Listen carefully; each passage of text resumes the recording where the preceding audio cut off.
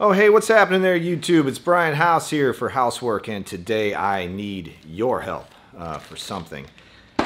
I have been selling a lot of uh, hardware packs for the Revolution 2x72 belt grinder project, and if you're not familiar with that project, I'll put a link uh, up, up somewhere, wherever, and you can kind of follow along with that project. Most likely, if you're watching this video, you already are very aware of what I've been up to with the Revolution. It has uh, been a life-changing uh, experience for me to design that and prototype it, and then ultimately uh, start uh, selling uh, grinder pieces, parts, plans, all that stuff. Um, in particular, I am been I have been selling quite a bit of hardware to the tune of probably 20 a week ish, uh, which is quite uh, a, a, big number for someone like me who's doing all the packing. Uh, I'm doing all the purchasing. I'm doing all the assembly of the uh, the kits, and then uh, putting them in the bags, and then sending them out to, to the to you all who have been so gracious in supporting my business and supporting this project. And uh, honestly, it grew so much faster than I could have ever imagined. Um, and I am overwhelmed by the response, and thank you so much. The problem I'm having, and I know that you guys can help me solve this issue, I need to crowdsource this problem because when I've done that in the past, you've always come through for me, is that I am I am I'm ordering everything through McMaster-Carr, and I I get all my my hardware through them, and it's it's extremely high quality hardware in my opinion. Uh, you know, uh, when when you buy this kit from me, you get nothing but the best from them, and I pack it myself, and I make sure it gets to you.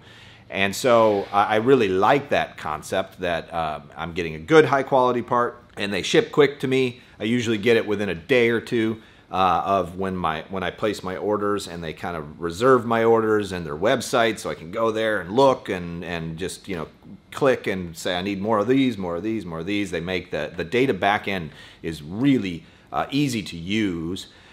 And it's easy to use as far as um, like prototyping and such too, because uh, when I'm doing my work in Fusion 360, which I've now graduated from SketchUp, by the way, to Fusion 360, uh, I can now import their hardware from their database and their, uh, their step files actually go right into my drawings, which makes prototyping inside of Fusion insanely awesome and um, it makes you know the whole experience so much more streamlined. The one problem I have with McMaster-Carr is the amount of packaging that they um, and how they sell particular things. Like um, uh, I, I can give you a really good example.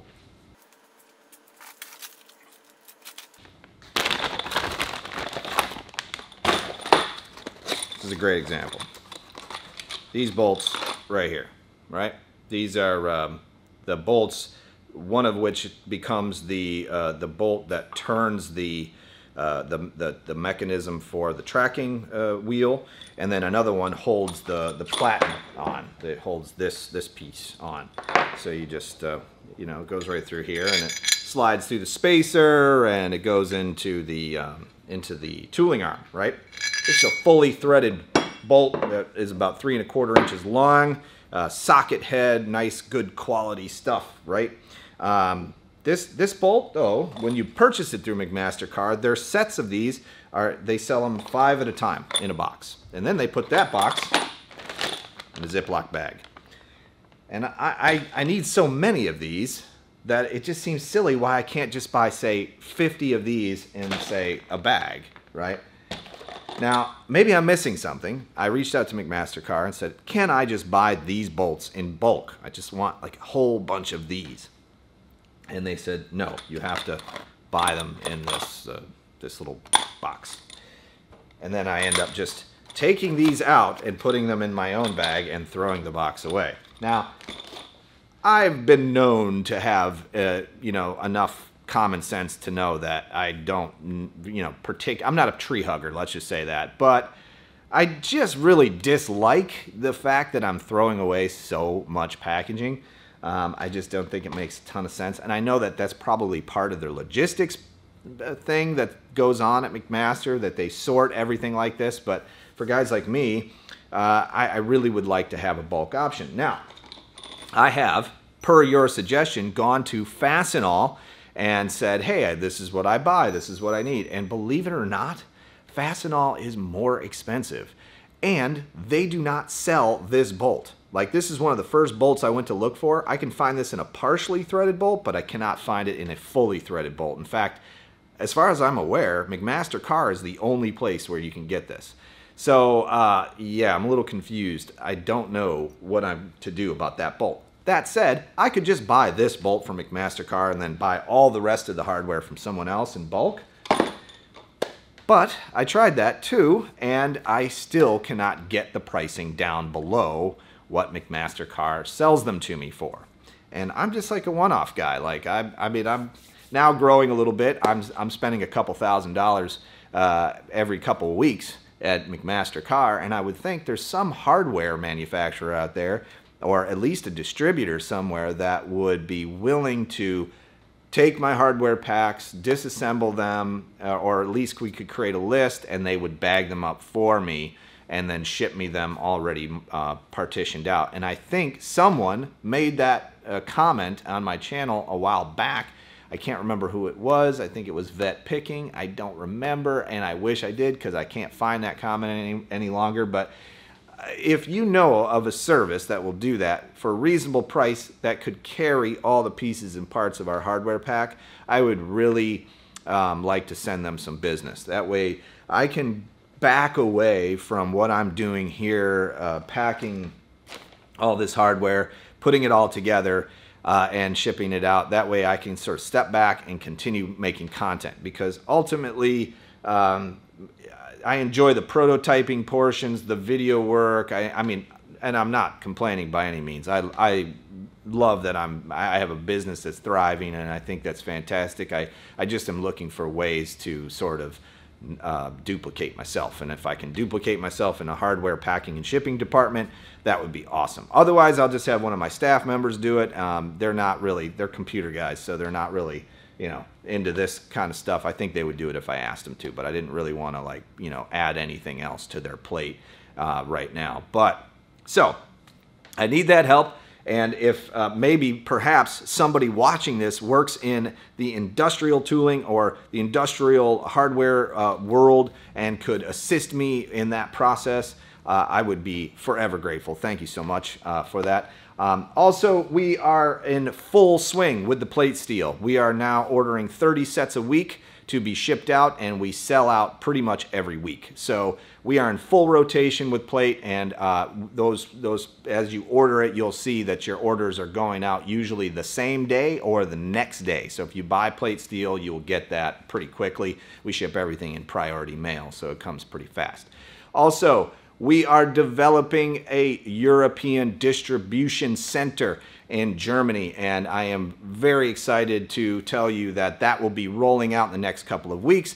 We've been meeting with laser cutters over there, and someone who is, uh, and I'll introduce him on the channel at some point very soon, who will be distributing for me in the EU. And um, we're just sort of working out all the taxes and all of the shipping. There's a lot of logistics. So, say buy something from me and it comes out of the Germany warehouse, then it's got to go from Germany to say uh, France. Uh, there's uh, certain things that need to happen, uh, certain pieces to that puzzle, taxes, customs forms, and all of that. So if anyone has any information about uh, shipping and logistics in the European Union, uh, reach out to me, brian at housework.us. I would love to hear from you about that uh, because the model that I'm seeing that we're building out here is one of which uh, I can do this in all major markets, right? So we could set this up in, say, Australia. We could set this up in, um, I, I, don't know the story with the UK, if it's part of the European Union anymore. I know there's a whole Brexit thing. I'm, I'm not familiar with that, so I don't understand how that all works. Again, I need some assistance. But, you know, uh, South Africa, I have had so many people reach out from South Africa. So if I could find a laser cutter in South Africa, we basically send you everything you need to get set up as a distributor, uh, and you sort of roll it out on your end, and uh, we, we basically uh, route all the sales through the website. It's kind of a cool uh, model, and it works. We know it works. It's just figuring out all those like little shipping logistics and uh, all of that. So anyhow, that is rolling out. That is super exciting. And what that does, I think, for me anyway, is it gives me hope that this can expand outside of the United States. And I feel like that's just a good move. You know, it makes just a, a, a bunch of sense. Um, so I am um, I'm humbled every day by the amount of emails and text messages and phone calls I get from all of you who are building the, the revolution, all the pictures you've been sending me on my Facebook group. If you uh, aren't already familiar, we do have a Facebook group now for DIY belt grinders and machines, and it doesn't have to be specific to the revolution. I am not interested in becoming a monopoly in that world. If you're building a, grinder or you want help or you have some thoughts and, and you want to share that with the community, you can do it there. It's a safe space, it's moderated, and all negativity will be um, completely 100% squashed. Uh, so it's uh, it's a kind of a cool community. I'll put a link down below so you can get to that Facebook group. It's um, called DIY Belt Grinders and Machines. So go there and find it. If you got something out of today's video, guys, make sure you hit that thumbs up button. And if you're not already subscribed, hit that subscribe button. And if you click that little bell, you'll get a notification every time I upload something to YouTube. There are many ways to support what I do right here in this workshop and studio. Uh, one of which by far is to support uh, the Revolution Project by buying our plans and parts on my website, housemade.us. I also have an Amazon store. You can click through and find all the pieces and parts to a lot of the projects that I've got going on right here, some of the electronics for the Revolution, and those are all listed there. And if you click through, I get a little bit of a commission from Amazon and it helps kind of keep the lights on in here and keeps things rolling.